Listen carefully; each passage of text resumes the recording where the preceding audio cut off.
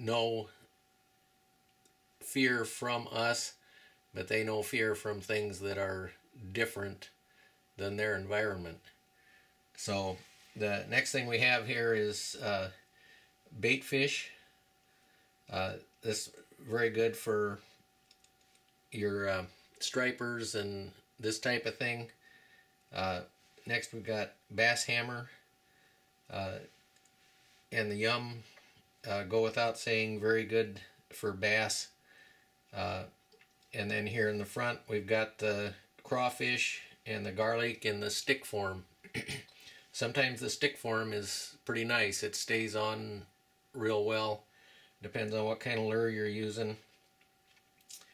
And uh, you can just rub some of that on or into the feathers and uh, it'll last a long time.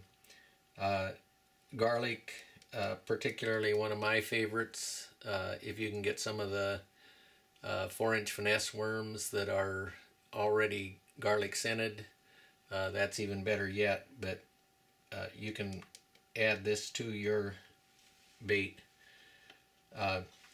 Here, here we've got some of the shad, and that too is good for multiple fish. Here's the anise in two different brands. Uh, I'm not promoting any brands, it's just a matter of your choice. Uh, this anise is uh, just excellent for walleyes in Canada. Uh, good cover scent and uh, you'll you'll get a lot of fish on it. I, I've never known it to spook fish away. Actually, any of these products are going to be beneficial at the right times. Uh, if fish are very active, you're not even going to need this.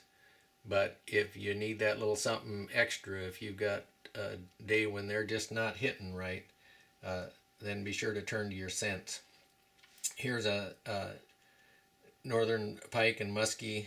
Uh, these different brands all have multiple different uh, scents.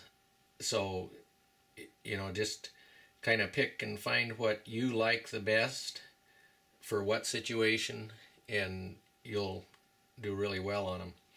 Now here is a, gulp and so don't forget to uh, reuse your gulp alive liquid.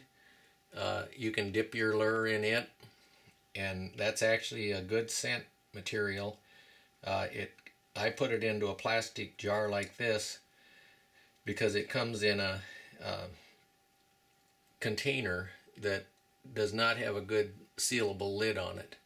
And so you take it out and put it in a plastic jar like this, put it in the bottom of a small uh, two gallon pail is how I carry all my scents so it doesn't get in the carpet. And uh, you can just open this up and I've got a little wire that you just fish this out and I'll, I'll do a whole video on the uh, Gulp Alive for you.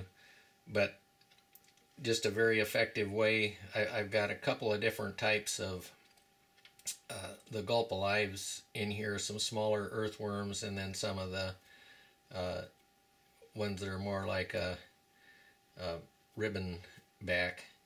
And so anyway, be sure to uh, make use of all of the different types for the different areas that you go to and uh, hope this helps you out. Good luck.